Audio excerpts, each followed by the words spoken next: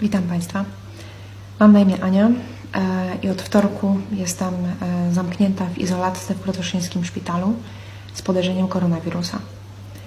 Nie nagrywam tego filmiku, aby wzbudzić panikę, ale żeby pokazać, jak w Polsce wykrywa się i leczy koronawirusa w porównaniu z tym, jakie mamy informacje dostarczane nam przez media i przez rząd. Drodzy Państwo, liczba absurdów, która spotkała mnie i kadrę szpitala w ostatnich paru dniach, jest nie do pojęcia z perspektywy pacjenta i logicznie myślącego człowieka. Zanim opowiem Państwu o absurdzie numer jeden, pragnę powiedzieć, że nie mam absolutnie nic do zarzucenia szpitalowi w Krotoszynie.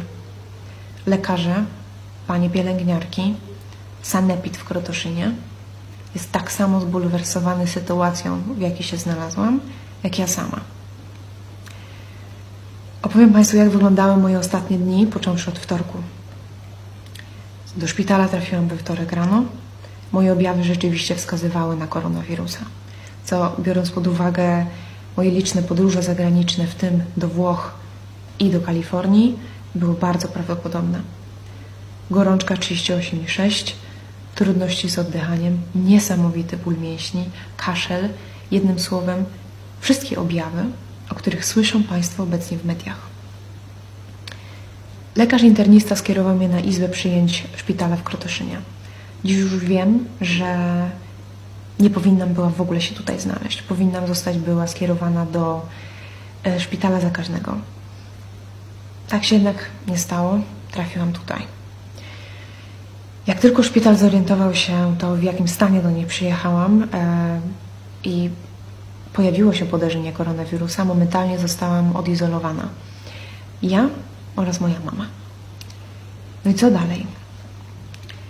Aby dać Państwu obraz mojego stanu, powiem, że w tamtym momencie utrzymanie przytomności wydawało mi się nadludzkim wysiłkiem, ale byłam w szpitalu. Także wierzyłam, że ktoś za chwilę mi pomoże. W takim stanie przeleżałam dwie godziny. Na kozetce, w kurtce, łapiąc każdy oddech. Co robił wtedy szpital?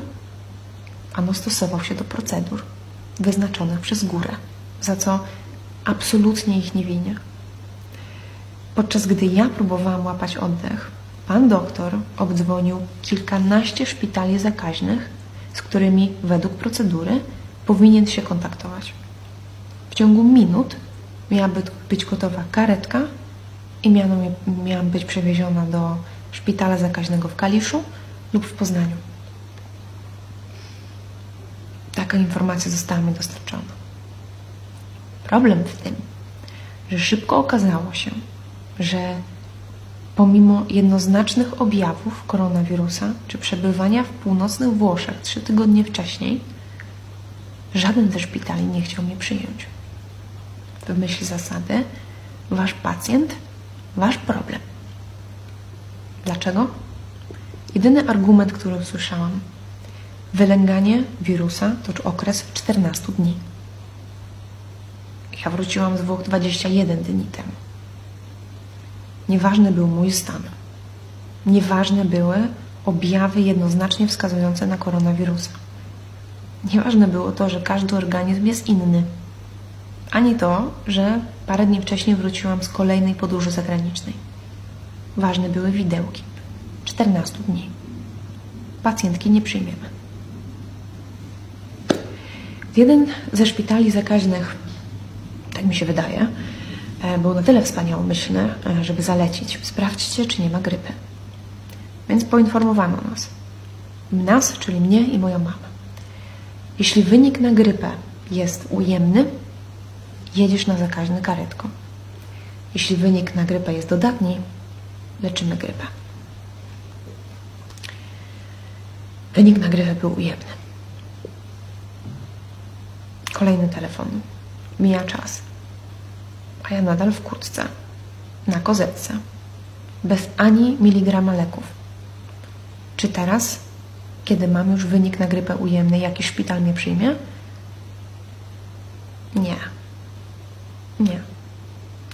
niech Krotoszyn pobierze te wymazy na koronawirusa i niech wyśle te próbki do laboratorium w Warszawie. To była kolejna informacja. Mijał czas za czasem, minuta za minutą. Więc pobrano wymazy. Tylko drodzy Państwo, była to już godzina 13, może 14. Natomiast we wtorek laboratorium w Warszawie pracowało od 7 do 15. Nie przyjmujemy próbek. Tacy jesteśmy w naszych mediach narodowych przygotowani. Całodobowe infolinie, kursy mycia rąk, wszystko. Ale próbki do 15. Koronawirus od 15 ma wolne. Spędza czas z rodziną, niczym każdy Polak w niedzielę niehandlową. No więc byliśmy w kropce. Szpital zakaźny nie chciał mnie przyjąć. Laboratorium w Warszawie nie chce moich wymazów na potwierdzenie koronawirusa. Wzór zamknięty. Media pod drzwiami.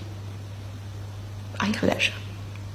Bez pomocy i z lekarzami, którzy nie wiedzą, co robić, bo mają związane ręce przez procedury. Odbiliśmy się wszyscy od ściany. Przewieziono mnie do izolatki. Ustabilizowano mój stan, wtłoczono we mnie kilka, jeśli nie kilkanaście kroplówek, tlen, wszystko po kolei. Wymazy miały być pobrane o 5 rano w środę. I teraz, czy zdają sobie Państwo sprawę, że personel do pobierania wymazów został przeszkolony tylko w szpitalach zakaźnych w Polsce?